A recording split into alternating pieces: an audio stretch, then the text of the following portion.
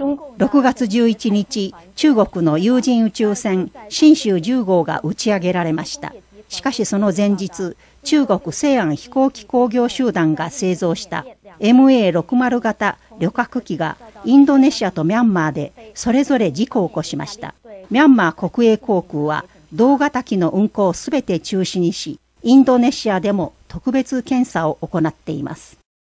6月10日、ミャンマー国営航空の MA60 型旅客機がオーバーラン事故を起こしました。ミャンマーでの同型機による事故は、ここ1ヶ月で2度目です。ミャンマー国営航空は、同型機の運航をすべて中止し、検査を行うよう求めています。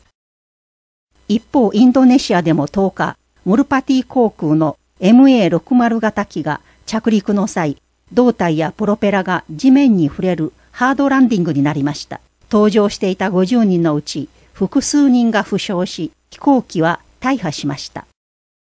報道によると、中国製の小型旅客機 MA60 は運航開始から事故が頻発しています。最も重大な事故は2011年5月、インドネシアムルパティ航空の同型機が西パプア州沖で墜落した事故で、乗客乗員25人全員が死亡しました。中国南方航空の元パイロットコウさんによると、中国の航空機製造技術は世界的なレベルには程遠く、安い価格で競争に勝っていると明かします。中国人不是不聪明，在中共这个体制之下，在科研上，很多就是东西作假，还有拉关系走后门。另外，有些人比较喜欢走捷径啊，从海外去模仿一些什么，呃，结果导致呢都不是中西结合、土洋结合，那么导致就是质量上实际上不是很过关的。この元パイロットによると、中国の MA60 型旅客機の主な輸出先は小さな国や外交面において中国に近い国でおよそ半分は贈呈しているようなものだと話します。像这样一些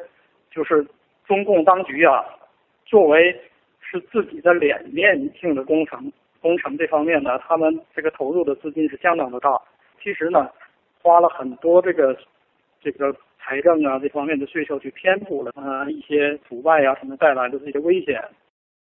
北京空軍軍事教練機材研究所の元少佐、コさんは、先日打ち上げられた有人宇宙船、新州10号の品質について、問題がないとも断言できない。しかし中国当局が万が一のために 巨額を投じていることは間違いないと示しています。新東人テレビがお伝えしました。听